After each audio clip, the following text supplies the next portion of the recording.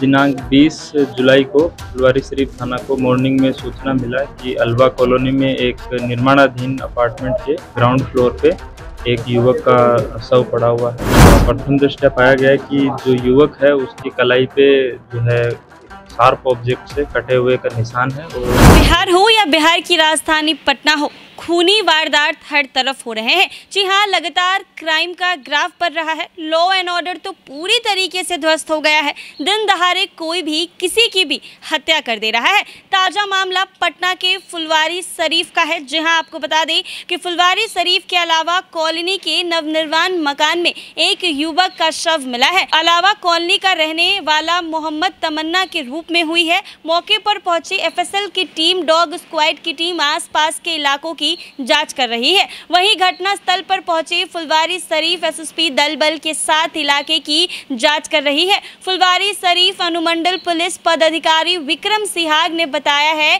कि युवक के हाथ पर किसी तेज धार से काटा गया है। परिवार वालों ने बताया है कि कल शाम से ही युवक गायब है। आज सूचना मिली कि एक नव नव निर्माण मकान में शव मिला है, जिसकी जाँच की जा रही है। पटना से सटे फुलवारी शरीफ थाना क्षेत्र के अलावा कॉलोनी पुलिस ने एक 22 वर्षीय युवक का शव बरामद किया है। इस संबंध में फुलवारी शरीफ एसएसपी विक्रम सिहाग ने बताया है कि अलवा कॉलोनी निवासी मोहम्मद हैदर अली का पुत्र मोहम्मद तमन्ना कल शाम दोस्तों के साथ गया था तो वापस नहीं आया है, जहाँ आज उसका शव मिला है। मृतक की कलाई पर धारदार कोई चीज़ से नस काटा हुआ है और पाया गया है, उसके पास से डिस्पोजल सुई वगैरह गिरा मिला है। आशंका जताई जा रही है कि हो सकता है कि मृतक ड्रग ड्रग लेता हो, जहाँ प्रथम दृष्टता कलाई पर नस काटने से उसकी मृत्यु होगी। पुलिस आसपास के सीसीटीवी फुटेज को खंगालने में जुट गई है। आज दिनांक 20 जुलाई को फुलवारी शरीफ थाना को मॉर्निंग में सूचना मिला कि अलवा कॉलोनी में एक निर्माणाधीन अपार्टमेंट के ग्राउंड फ्लोर पे एक युवक का शव पड़ा हुआ है। तुरंत फुलवारी शरीफ थाना द्वारा घटनास्थल पे पहुँचा गया और शव को अपने कब्जे में लेके मौका मुआयना किया गया। प्रथम दृष्टया पाया गया कि जो युवक है, उसकी कलाई पे जो है, एक शार्प ऑब्जेक्ट से कटे हुए का निशान है और जो हमारा जो एस्टिमेट है कि या जो है, कि उसी से उसका डेथ हुआ होगा। और जो युवक है, वो स्थानीय ही है अल्बा कॉलोनी का ही है। वो कल रात से जो है, सात आठ बजे अपने घर से निकला था। उसके बाद से घर नहीं आया था। घर वालों ने इस संबंध में जो बताया है कि वो हो सकता है अपने दोस्तों के साथ गया हो, परंतु अभी हम लोग इसमें जो नियर बाई सीसीटीवी वगैरह हैं उनको देख रहे हैं।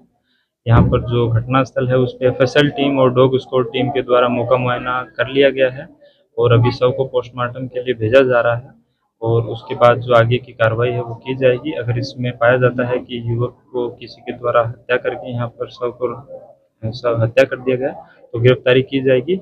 अदरवाइज़ जो जो लीगल एक्शन होगा उसको नेक्स्ट किया जाएगा।